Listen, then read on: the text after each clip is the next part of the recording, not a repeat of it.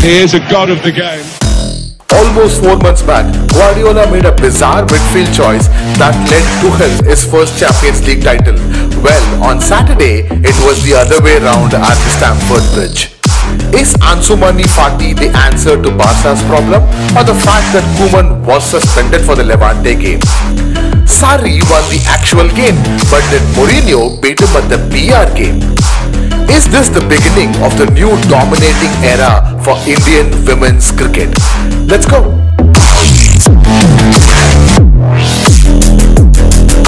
Absolutely world class. Hello and welcome to episode 35 of Sports Charcha where we are going to talk about a very unique weekend in EPL, a great week for Indian cricket and to do that as always we have Ishan with us. Hi guys, hi everyone. Hope you had a great weekend like I did. I'm still recovering from a very heavily alcohol fueled weekend. so what I'm going to do this week, we're going to switch it up a bit. I'm going to be asking Bala a couple of key highlights that he thought which happened in the Premier League, in La Liga, and in the Serie A, and then we'll move on to other topics. So let's start with the big game, uh, Chelsea versus City. Bala, you know, it was a one-nil victory for City against the card. I think both of us, I think, uh, called City uh, Chelsea winning it. Uh, what was the key defining moment that you thought actually turned the game for City? It's not the defining moment. I would say one of the things that Pep did that really worked was Bernardo Silva. Uh, he kind of played alongside Rodri, and every City player were were very very committed to what they wanted to do. In fact, like if you see the way the players celebrated after the final whistle, it felt like they just won the Champions League. It they just took a big monkey off their back. I mean, Pep lost three games against uh, Tuchel, and he finally got that off his back. And there was little weird with Tuchel's tactics also. See, this is something Tuchel have in his kitty. He has shown this with Dortmund. He has shown this a lot with PSG. He too have these brain fade moments where he will just start some random players. He didn't do it with Chelsea for a very long time and I was thinking that okay, now this is a new one we are looking at. But no, this game I think he tweaked a little. He just went a little too much, I believe. See, uh, the problem that Lampard and Sarri had was to play Kante and Jorginho alongside. Both of them had that issue. Tuchel, I believe, solved that issue very, very smartly. Now, what he's trying to do right now is to add Kovacic also to the mix and making it more complicated for himself. I that didn't work. But full credit to Guardiola and City players. They were just they were relentless. They ran a lot. They ran more than Chelsea. Ruben Dias again, excellent, excellent performance. So a great game. So I think let's talk about the other big game, uh, which I would like to label as a twist of fate game. Uh, the North London derby, Arsenal versus Tottenham. Uh, you know, a couple of weeks ago when we were on the podcast, Arsenal were in the relegation zone and Tottenham were at were on the top of the table. But looking at the result and looking at how Arsenal have been, you know, getting the results in the last couple of games, what what what's happened to Arsenal? What's changed? And you know, how how did the match go? So Arsenal, well, one thing very clearly changed. Uh, personal Thomas Partey, I think, is back from injury. The last two, three games he played. So that really did make some difference. And yesterday he probably played his best game for Arsenal. If I am not too optimistic, he did play his best game for Arsenal on uh, best game for himself in a very long time, ever since he came out of Atletico. So that was a very, very key moment. But on the other hand, Tottenham have fallen so bad. Nuno was the manager of the month uh, August month ka manager he was. In September he hasn't won a single game yet. He has lost all the three games. The Conference League game ended in a draw. I think he won the Carabao Cup game, but otherwise there were no victories. So it was more. I thought it was more again. Uh, Arsenal fans, we don't have an agenda. it felt like more of Tottenham being really bad than Arsenal being really good. Arsenal were good, I'm not taking anything away from their performance, but Tottenham were very bad. It's it's a crisis. It's, it's actually what might Yeah. What might Harry Kane be thinking right now? Oh man, I mean, he felt someone. This is what Gary Neville said. Uh, Kane and Son are looking like two kids who got their balloons burst in a birthday party. That's the exact word he used. I mean, they did look like that. Oh. Uh, Tottenham again were very defensive. They were too defensive. Kane tried a bit. I mean, he had a very bad game. In fact, third goal was his mistake. He lost the ball uh, like a very. Uh, he lost the ball, and that kind of created the counter attack for Arsenal. So he had a very poor game. See, we don't know what's going on in his mind, whether he's 100% there or not. We can't say it. We can only speculate. But everyone started asking this question now, and you cannot you cannot escape this argument, this topic right now. If you are a Tottenham fan, if you are associated with Tottenham, Got it. Okay, so let's talk about the other, not a big game, but quite a game which created a lot of headlines. Specifically, it was the last game Bruno Fernandes would take a penalty kick in his United career, at least till when Cristiano was playing. Uh, Villa versus Man United. Uh, I would say quite a huge upset. Uh, Aston Villa coming up with the three Yeah. points away from home at Old Trafford.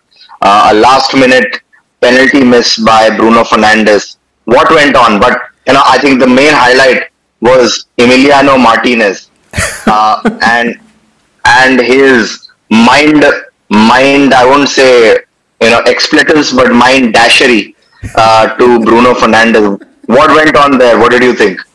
see, I'm going to ask you another question, like a follow-up question. You have Cristiano Ronaldo in your team. There is a penalty. Forget about the remaining 10 players. It could be Messi, it could be the Brazilian Ronaldo, it could be Pele, it could be Maradona, it could be Cruyff. Who will you give the penalty to? Irrespective of how many penalties he has scored or not scored. If it's the last game and it's going to decide the game, there is no doubt I'll give it to Ronaldo. So that is where my problem is. See now, Bruno Fernandes is not a bad choice. He has missed only two penalties for United in 23 games. I'm not I'm not entirely blaming Ole a lot for this decision, but there is a slight bit of emotion and uh, uh, not being rational was there in that decision. Cristiano Ronaldo is clearly the best penalty taker. He should have been the first number one designated penalty taker for United. I'm not sure why it wasn't there. Now, I'm not saying United lost the game because of that missed penalty. They lost the game because they didn't play very well in the remaining 89 minutes of the game. But Ole is in serious trouble now. They have But do you, uh, champ- Bala, I have a question for you uh, regarding this, right? Uh, in fact, in that game, Bruno Fernandes was actually captaining United at the end when he was actually taking the penalty. Who is who should the decision go down to? Ca- Because Fernandes has historically, at least for the last couple of years, been the designated penalty kick taker. Do you think it's on Ronaldo to say, "Hey, I'll take it. I'll base, face the brunt. If I if I miss it, I have enough, you know, credits on my back to deal with the, you know, deal with the hate. Uh, or is it Bruno Fernandes who says, you know, Ronaldo, I'm not feeling probably up to it. Why don't you do it? Or is it Ole's call? See, this is what I have heard from ex players, coaches, and everyone that a team before getting into the field, in fact, the squad in, in itself have a priority of penalty takers. So you have number one, number two, number three, number four, well defined pretty much for the entire league. Few teams change aage based on their uh, whatever penalty taking forms. So what Ole said in his post match press conference was that Bruno Fernandes was a number one designated penalty taker for the club. So if Bruno Fernandes and Cristiano Ronaldo both are there on the pitch, it's Bruno Fernandes' call. So what usually happens is is Bruno Fernandes' call to whether give it to Cristiano Ronaldo or not. Maybe he didn't want to. And to be fair for to be fair to Ronaldo, he didn't show any emotions, nothing on the field. He took it in his chin. In fact, like he was the first one to go and console Bruno. See, now we know for sure who's going to take the next penalty for United. It's 100% Cristiano Ronaldo. But I still think what will happen, what's going to happen is uh, there's going to be a game where United are 2 0, 3 0 up. They are going to get a penalty somewhere in the 90th minute. Ronaldo is going to take the ball, go to Bruno Fernandes, give it to him. Bruno Fernandes steps up and scores, and everyone's happy. Bala is all for the storybook closing of you know of storylines. But as as the ball, the, as the penalty kick shot Bruno took, as the, the ball still you know hasn't landed as yet. Let's move on to the next game, uh, which is Brentford versus Liverpool. I think this is the last you know really interesting game that happened in the Premier League. Uh, Brentford actually you know taking two points away from Liverpool. They were trailing uh, till the death of the game, and it finished three three. What were your thoughts on that? Oh, brilliant game, man! This see, this was one of the game where, uh, as a Liverpool fan, like I don't want to analyze this game. This was just a superb game to watch, end to end stuff. I have seen Van Dijk play for Liverpool for the last three years. Watched him closely, pretty much every game. I haven't seen a forward bullying Van Dijk as much as Toney did. Like he couldn't win headers. Van Dijk was losing headers to Ivan Toney. Long ball headers. I would I have hardly seen Van Dijk do that. Like not even in his worst day. So they were absolutely brilliant. See, there is a bit of boldness and stupidity in what Brentford did. Now, what they did was they played Liverpool's game, which is the energy game, the high high pressure, the uh, high press game. Now, the problem in playing that type of football against Liverpool is it can end in your favor, and that will be the greatest game you might have ever played in your history. But it can go horribly wrong.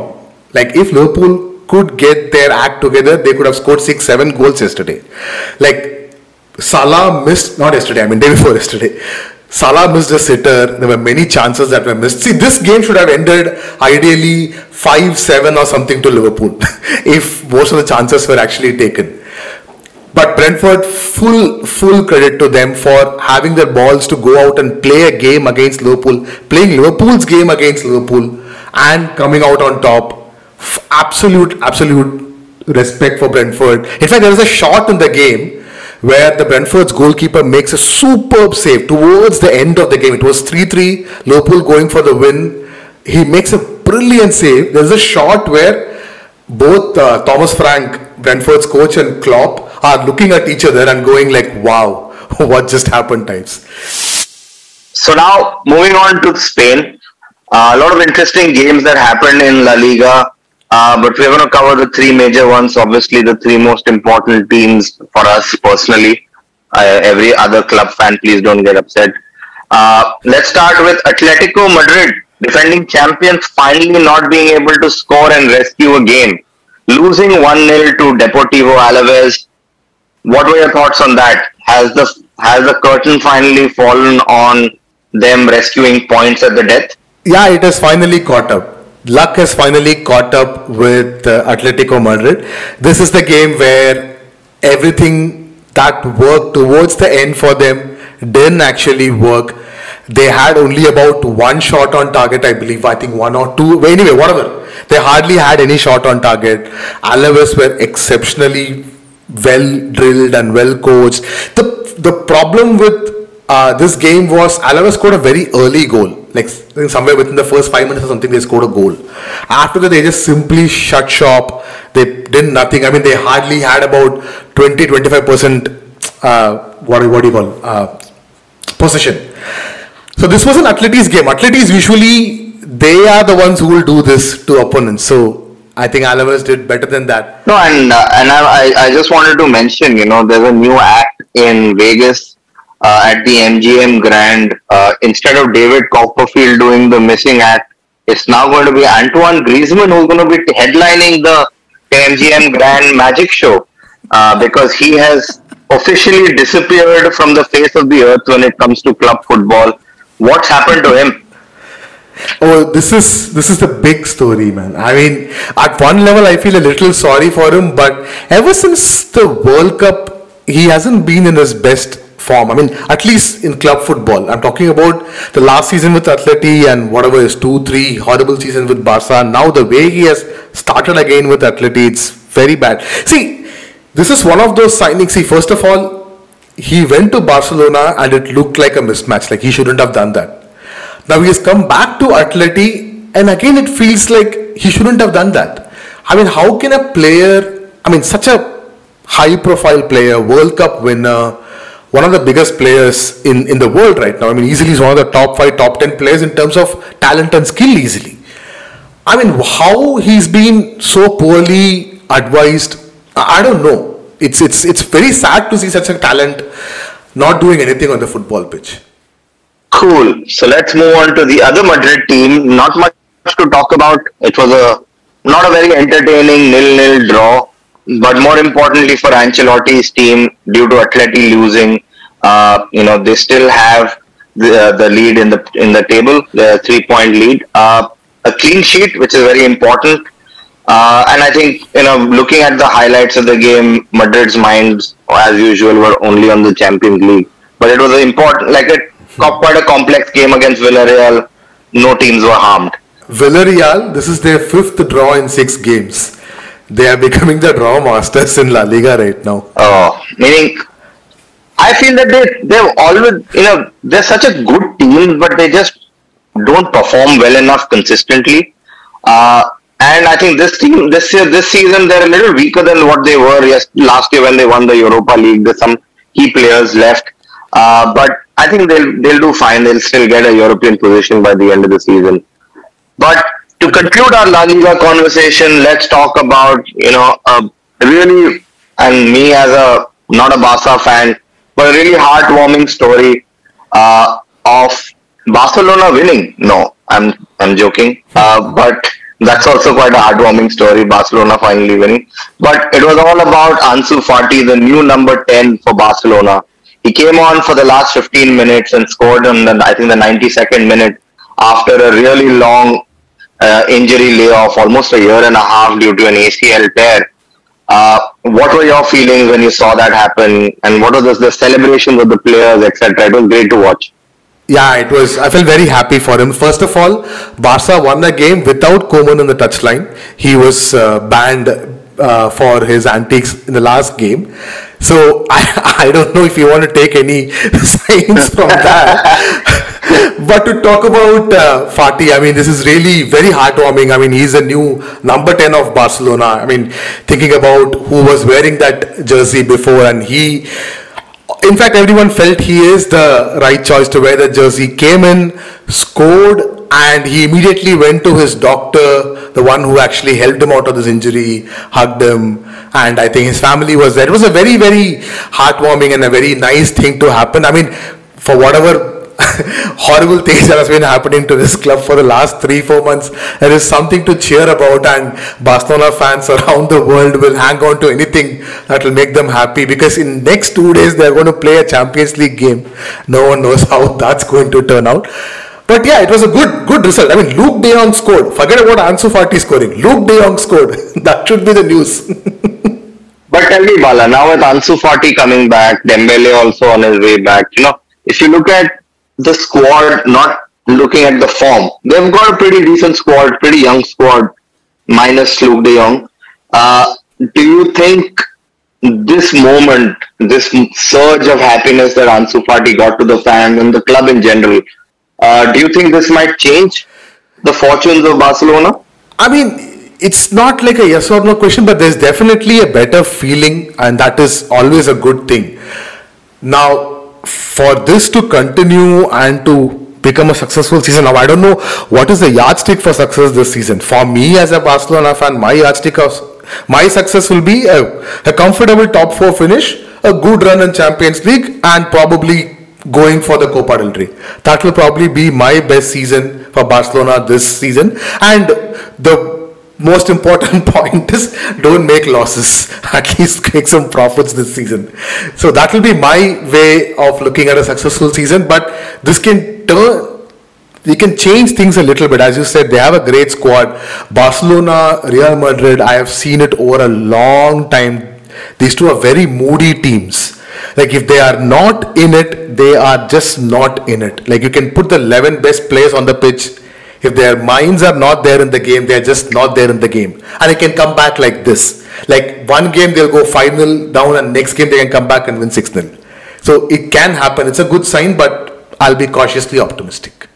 Well said, well said. Moving on to the Italian league, the Serie A. Some of some real banger games that happened over the weekend. But let's first start with the Derby d'Italia. Uh, that is Roma versus Lazio at the Stadio Olimpico, where Mourinho lost to Sarri. Did you see the game? Did you catch the game? Did you see the highlights? What what happened? So I was on and off. So the North London Derby and this one was going side by side. So I was first watching North London Derby for 30 minutes and then this for again 30 minutes. Age piche, age piche I was walking. This was this was a very unseria game, man. Roma had 20 shots. They had eight shots on target. Pepe Reina, the forgotten man, had a very good game at goal for Lazio. Some very really good last ditch defending. Uh, Lazio scored two quick goals, and who guess who scored the second goal? Pedro. Pedro scored the second goal. Now, forget about the game. The game was extremely exciting. Brilliant game, 3 2. Everyone was thoroughly enjoyed. But once then the game was over, right? I saw some of the most weird things that I've ever I've never seen on a football pitch, especially after a game's been done. So just to give guys, uh, the listeners, a quick context, Lazio and Roma both are from Rome and both play in the same stadium. Like both have the same home stadium, it's Stadio de Olimpica. Now, once when Lazio won, so Lazio's uh, club emblem is an eagle. So they have this club mascot, a real eagle. And Sarri went and I was he was holding the eagle to the fans for like few seconds after he won the game. And while he was doing that, Mourinho decided that I am going to hog limelight now. Instead of going to the dressing room, he calls all the players right in the middle of the pitch and he gives a team talk. in front of the entire stadium. Oh, oh, God. It quickly turned into a PR game from a football game so fast. But I think and Mourinho is so good for football, for football health. You know, he's amazing, and he does these antics just to keep attention. But I think it just keeps the fans glued to their screens wherever Mourinho goes. he is Uh, box office, man. He's pure box, He's box office. Quickly to wrap up the rest of the what happened in the rest of the game that happened in Serie I think what let's talk about the match of the weekend for us. Uh, Inter Milan versus Atalanta, an entertaining, you know, exciting draw. Uh, did what did you see the highlights? You watched the game. What happened? So I couldn't watch the game. I saw the highlights actually. It was really, I mean, the, it was highlights, so I couldn't really say how exciting that game was, but it was brilliant. They Inter missed the penalty, and in the last minute, in the last seconds of the game, Handanovic actually parried the ball outside the corner, and that wasn't noticed, and that was turned into a goal. I went to VAR, and it was it was chalked. The goal was chalked off. It was very emotional. It was a brilliant game. This game is probably one of the flagship games to show how Italian football have changed over the years. I mean, this game in total had about 40, 41 shots. This is like very, this is unprecedented numbers for Serie A. Like you normally won't see these many attacking shots in a Serie A game. So to me, Atalanta, the new Inter, the new AC Milan, all these teams are actually making Serie A very, very exciting. Yeah, I think you're completely bang on about that. You know, barring Juventus, who probably the only team that is going down. Every other, you know, there's a significant fight for the top four, uh, which is unheralded at least in the last seven, eight years uh, in Serie. You know, you see the likes of Napoli, who are top of the table, uh, undefeated this season, and they again won, by the way, the weekend. You see AC Milan coming back, a resurgence of AC Milan, Inter Milan, obviously defending champions. Roma with Mourinho, Sarri, and Lazio. Uh, it's and, and let's not forget Atalanta, who've been like literally the stars of Italian football. Have you know? I would say single-handedly changed how Italian football is perceived due to the way they play football. Uh, it's really good to watch, and I sometimes feel that it somehow needed Juventus to fall for Italy to rise. Quickly to conclude, conclude Serie A, I think let's talk about the Maldini family against creating their imprint onto the you know the history of AC Milan. uh, Daniel Maldini, Paolo Maldini's son, Cesare Maldini's grandson, scoring his first ever goal for AC Milan. What a great moment. Uh, I think he's going to be a great player. He's, you know, pretty skillful, has a knack for goals. So he's going to be a player to watch and amazing, you know, amazing story for AC Milan. This week on Indian cricket, we are not going to talk about CSK being on top of IPL table, Virat Kohli defeating Rohit Sharma. No, that is not what we are going to talk about this week. We are going to talk about our Indian women's cricket who have made a lot of noise in the last four five days. To remind you guys, they are currently at Australia playing a full series against the Australian team. They are playing three ODIs, I think one test, and then about two or three T20s.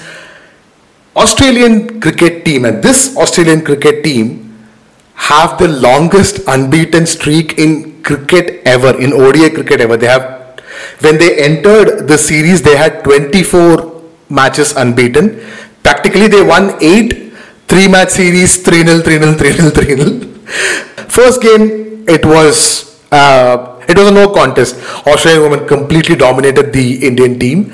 But the second one was a true humdinger. It went till the last delivery, and Australia just nicked it, just nicked it. But tell me, Bala, you know, obviously we're going to talk about the third game where history was made. Uh, you know, other than the usual suspects for the Indian women's team, who are the players that have really, you know, got your attention and you think are going to be world beaters? Like apart from your usual Smriti's and Shefali's and uh, Deepti Sharma's. There are four players who I really wanted to sort of follow more and follow their career, and they are looking really, really promising. First one, to me, the number one is the new uh, wicket keeper, Richa Ghosh. I think she's 17 or 18. She came in three down in the second game, and uh, we were in a kind of a tricky situation after a very good start we were down to 95 for 3 or something. So we needed someone to stay there in the middle with Smriti you know get the scoreboard ticking etc she was exceptional and that was the second game 17 year old she showed me how it's a, this could be a little thoda exaggerating but early signs of Hussey a player who can score the singles and twos very smart but can also score the big boundaries. There's a brilliant mix with her and at number 5 she is a talent to watch out for, like a very busy player. I haven't seen this kind of player in women's cricket a lot. They generally score a lot of boundaries. She's someone who likes to score singles and twos, keep the scoreboard ticking. So that is one talent I'm totally looking forward to. On the bowling side, there is this player called Pooja. Uh, she can bat a bit. She can just throw a bat around, but she's again a brilliant bowler, very smooth action. I mean, we are looking, we are crying for a replacement. Jhulan Goswami is still bowling, but we really need someone to take that mantle over from her. I mean, how long she can keep bowling? So, Pooja, and there is another uh, one called Meghna. Meghna's action, if you can just go and watch in Hotstar or I don't know, Sony or somewhere, she has a slight bit of Darren Gough in her. So, oh, wow again a very smooth action. So just watch out for her. Like she's again one of the bowlers who is who I'm really looking forward to. And the last one is Yastika Bhatia, a batter. Again, a very elegant stroke maker, number four player. So she comes two down. So again, something to look forward to. So this is an exciting time for Indians women cricket. We have talent coming out from every corner. So these players are playing around the world, which is only helping them to be better. But I sincerely wish BCCI start Indian women's IPL very very soon. And I think you know it's uh, in women women's cricket by and large. I fear that it's now moving towards more of a T20 shorter format uh, you know, I want women's cricket to be more test centric because that is the true challenge of the game, right? You know, one test match series is not a series at all. It's a one-off exhibition game. Uh, so bring a lot of the things you uh, you know, ICC should bring a lot of the things that they've done for, you know, men's test cricket to revitalize it, like the World Test Championship. Bring some of that, you know, masala into the women's game and I, you will see a lot of up and coming players who are not you know, shorter format stars, but, you know, have the patience and the grit to last five days coming up for both India and any other team in the world. And that will actually ensure the sustainability of women's cricket. Yes, I completely agree with you. There has to be and will be a women's IPL coming very soon. But the Indian team right now going to England and even Australia to play, you know, domestic T20 championships has given them a lot of exposure, and that is all only going to make them better players. Yeah, there's one interesting point about this series. So this series is is one whole series. So they have a point system across the three formats. So there is no separate ODI winner, T20 winner, or a Test winner. There is a series winner. So that was new. You, you see, this is what I'm saying. It's cool, but you know, it's kind of gimmicky. Mm. You know, it's let's entertain the you know the women's cricket game by giving some points at the end. It has to be more serious. Yeah. It has to be there has to be an end game to each format, and that's what makes it entire. That's what gets fans to the table, right? If you have a World Test Championship final between India versus Australia at Lords, men or women's people will show up. So that's how you make it go. All, all right, guys, let's give Ishan a breather. Now, I will take over for the F1 update. I have to say, uh, when I saw the qualifiers, when I saw the weather, I wasn't very sure this is going to go ahead, but it did go ahead, and I saw the last five laps. What a heartbreak, man! I mean, it was actually the entire race can be summed up as how McLaren blew it uh, instead of Hamilton winning the race. Let's start off with Lando Norris. Uh, you know, he started off the race at pole position. He almost immediately lost it to Hamilton because Hamilton had a very aggressive start, but you know, Norris got way went way wide and Hamilton almost overtook him. But throughout the race, there were quite a lot of ups and downs in terms of McLaren and the controlling of the car in the rain, you know, in the wet surfaces and it actually happened in the penultimate lap when Norris spun out, gave Hamilton the lead, and that's how where that's where Hamilton finished. But even without no, not talking about Norris, you look at Ricciardo. Uh, he was in near in near about the podium finish, and he had a literally a seven second delay in his pit stop, which cost him significant, you know, places and seconds. And he ended up finishing fourth, but you know he could have been on podium so the result was pretty, you know, basic when it comes to who finished one and two, but it could have been a whole lot difference because that's, you know, it could have been dramatic. You know, imagine a, you know, a, a McLaren Ferrari on the podium and Hamilton was Verstappen not in the points. Yeah. That was, that's how the race started uh, because Verstappen started at the back of the grid and he came all the way back to second, right? So the points table, Hamilton has now finally taken a lead in the championship table by two points. Uh, Verstappen, who came second now, you know, again second in the uh, in the championship. Mercedes has also taken lead in terms of the constructors because Perez, who's having an atrocious time, uh, finished ninth, whereas Bottas finished fifth. So it was a great wild, wild race. If you guys missed it, please see the highlights because watching an F1 race in rainy weather, rainy climate, wet wet surfaces, it, it just goes all down to how a driver can deal with that pressure with almost zero visibility. Yeah. It's unbelievable how it's even humanly possible that they can navigate at that speed. So do catch the highlights. It's on Hotstar. Check it out. But this even gets even better because you're seeing the likes of Norris, Ricciardo, and even surprisingly Carlos Sainz, who not had a very good season so far coming onto the podium. You're seeing Ferrari also make a comeback. So it's going to go down to the wire because these players, these constructors will keep challenging the Mercedes and uh, Red Bull for the podium. So it's going to be interesting. That's a wrap, guys. So when we come back on Thursday, we'll talk about the midweek Champions League games. There are some juicy fixtures. PSG versus Manchester City. What is that called? El Oilico. What did we say? El Gasico. El Gasico. The El Gasico, guys. And also we have Juve versus Chelsea, a very depleted Juve, Morata gone, Dybala gone. So we'll all see how that's going to turn up. So until then, it is bye from Bala.